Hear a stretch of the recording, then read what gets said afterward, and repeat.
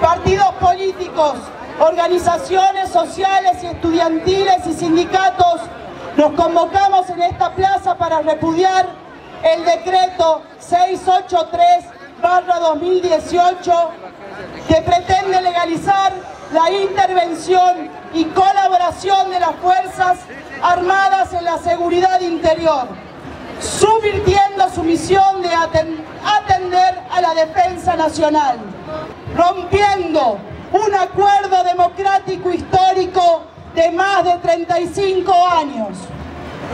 Extiende la participación y la actuación de las Fuerzas Armadas en lo que arbitrariamente han denominado como agresiones externas, cuando en realidad esta medida se suma al conjunto de acciones represivas y de ajuste que lleva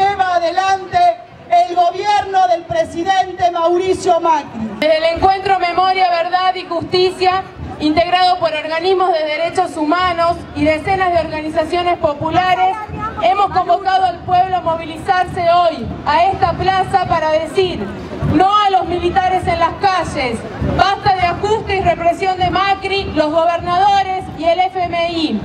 Que lo escuchen bien quienes lo tienen que escuchar. Así como en Buenos Aires movilizamos a Plaza de Mayo, frente al corazón del poder político, donde está el máximo responsable de este nefasto decreto 683, el presidente Mauricio Macri, estaremos en todas las plazas del país.